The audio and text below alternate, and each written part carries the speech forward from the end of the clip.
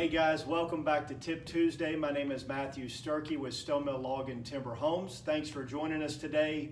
We're going to talk a little bit about staircase design and tips for selecting the right staircase and tips for designing the staircase uh, that's right for your home. So there's a couple of things that we want to discuss. The first being uh, check code requirements. Important to know uh, not only uh, when you're building it, but in the design process, what the code requirements are. Uh, one, what's the tread depth? Two, what's the rise height requirement? Those are all going to dictate how many steps will be needed to get up to that second floor or to go from the main level down to that lower level. Uh, the second thing is, is think about the aesthetics and how that staircase fits within your design. Is that staircase more of a focal feature? If it's a focal feature, you might really want to put a lot of thought and, and some additional money and resources into that staircase.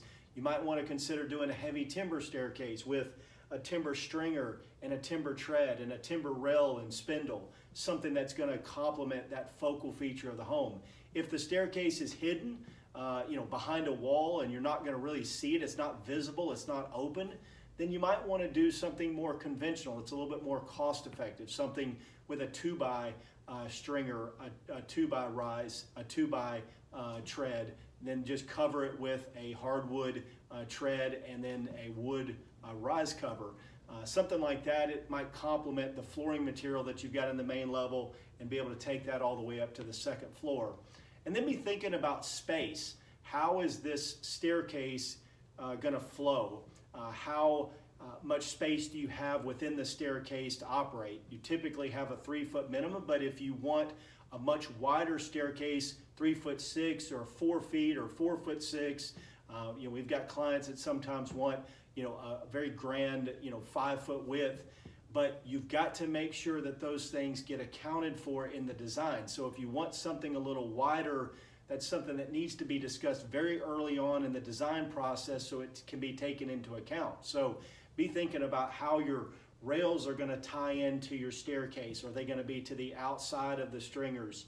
Are they going to be on top of the stringers and treads? All of that will ultimately dictate how much space you have, how much clear space you have inside the wall and inside of the rail. So these are just a couple of tips. You know, check local code, make sure you know what the code requirements are so that they can be incorporated into the design.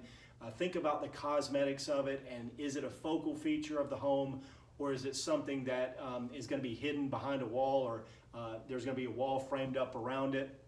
And then think about your space and how that is going to flow and how much space you want to have, you know, clear space on the inside of that staircase uh, very early in the design process so that that can be taken into account uh, during, the during the design. So these are just a couple of tips on uh, selecting and designing staircases. Hopefully this has been helpful today. Thanks for joining us for Tip Tuesday.